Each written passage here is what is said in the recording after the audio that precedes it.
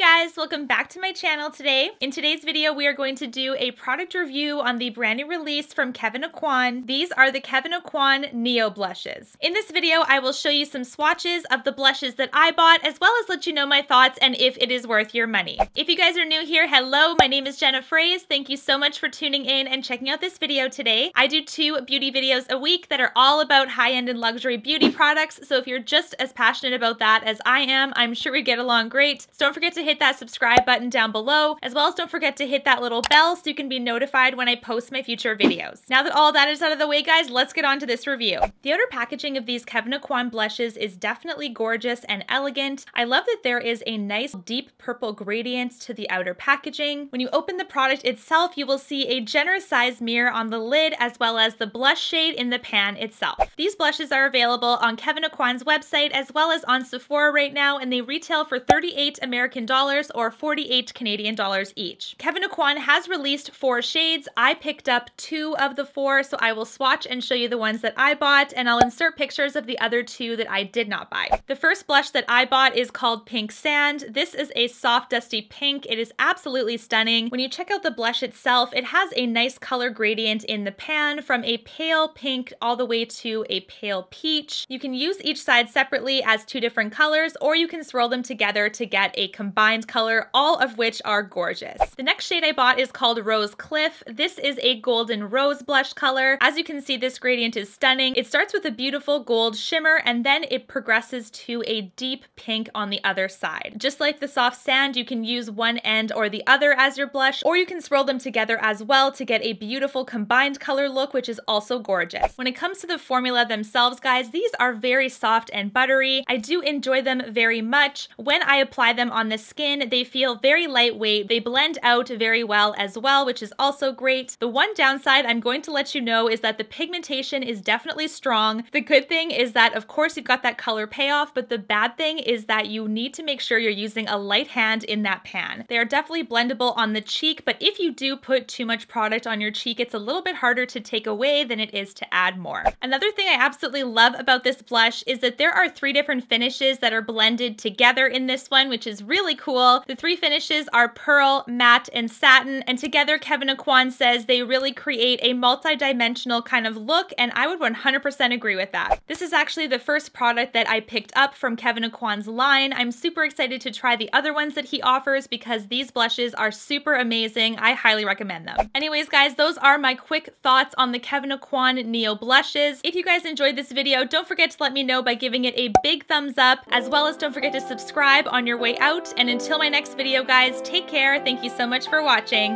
Bye!